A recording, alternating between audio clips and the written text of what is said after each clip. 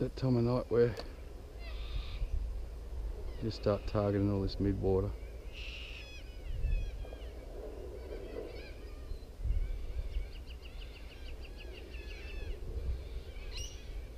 I sort of didn't expect to get a hit here. But we go down here where there's a snag and see, I bet you there's a bit of a difference. That little snag there's on the edge. So they'll produce later tonight. I expect to get a fish is on that deeper snag. I'll run across it. Get that spinner up high.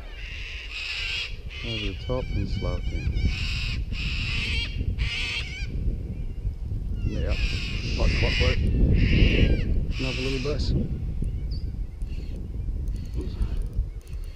It's getting a bit dark to film now, but that's six snags.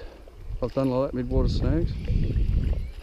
And it's produced, this is probably the smallest fish of the day it's produced. All six of them have pulled fish off them just the same way. Seems to be you got to draw it from the other bank into the snag.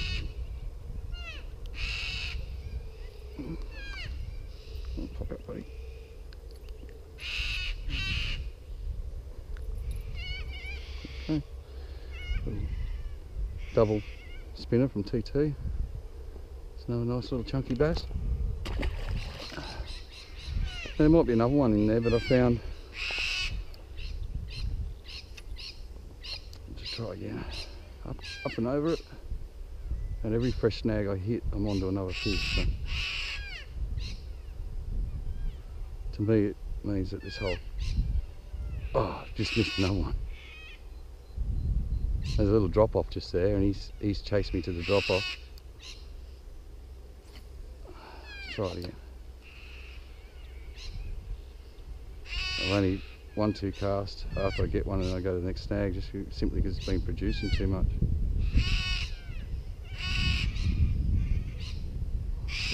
Yep, there's another one. They're smaller fish now so I think that's why they're a bit more game than the bigger ones. The bigger ones you seem to only get one or two off a snag. These little guys will keep coming up. I know there's a bass fisherman in my mind saying, get to another snag, this will be bigger fish. But at the same time, to leave a snag that's producing fish. I'm going to get him up over that snag again, drop him down the other side, just roll him along this edge.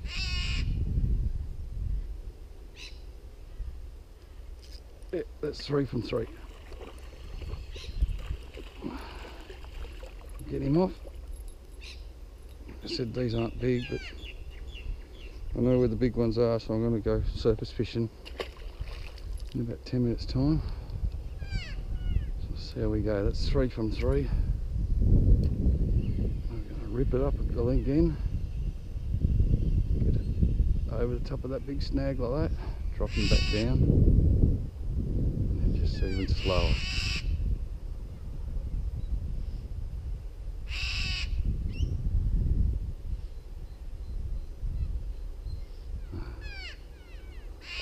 That's the hat trick. We're going to move on. Find a bigger one.